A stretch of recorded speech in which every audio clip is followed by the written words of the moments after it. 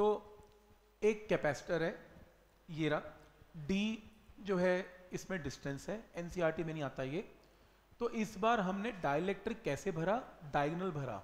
ये के वन है और ये के टू है। अब वो कह रहा है इक्वलेंट कैपेसिटी निकालो, क्या होगी इसकी? अब डायगोनल में प्रॉब्लम है। सीधा होता तो मैं बोल देता, ये सीरीज़ है। डायगनल में प्रॉब्लम ये है कि आपको इसको, अगर आप छोटा सा इसका एक एरिया लें जैसे ये प्लेट ऑफ़ कैपेसिटर है, ये बी विड्थ है इसकी, और मैंने छोटा सा एलिमेंट लिया डीएक्स तो इसका छत का एरिया क्या होगा? बी इंटू डी तो आप ये देखें कि ये एक कैपेसिटी बनेगी DC2 स्मॉल कैपेसिटेंस और ये बनेगी DC1 ऐसी आप राइट जाते जाएँगे तो ये कम होता जाएगा और ये बढ़ता जाएगा। तो हर की कैपेसिटी चेंज हो रही है। तो आपको ये पता है कि ये दोनों सीरीज़ में कनेक्टेड हैं तो पहले आप इन दोनों की इक्वलेंट कैपेसिटेंस सीरीज़ में निकालेंगे। फिर ये इसकी स्मॉल कैपेसिटेंस आएगी, फिर इंटीग्रेट करेंगे, पूरा तो आंसर आएगा। तो इसका मैथमेटिक्स सिंपल है। ये DC2 DC1 आपने एक लाइन ज्वाइन की थीटा थीटा कॉरस्पॉन्डिंग ये टोटल लेंथ एल है। ये आपने जो एलिमेंट लिया, वो एक्स डिस्टेंस पे लिया।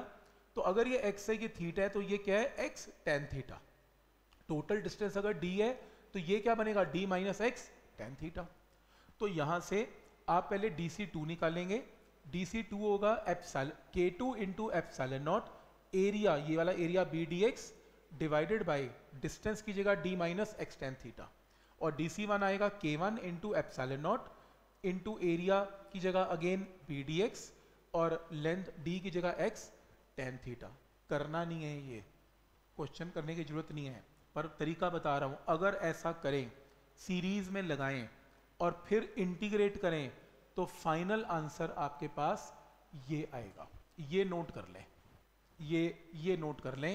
ये आपका फाइनल आंसर आएगा। वेयर ये जो वैल्यू है,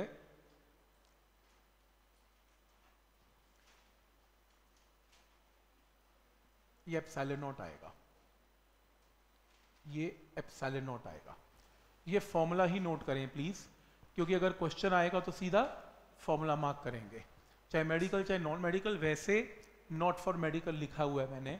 आने का चांस कम है, पर फिर भी अगर फॉर्मूला करने को आ जाए तो लिख लो फॉर्मूला रजिस्टर में, नज़र मार लेना। लेकिन मेंस में तो आया हुआ है एनसीईआरटी में नहीं आता।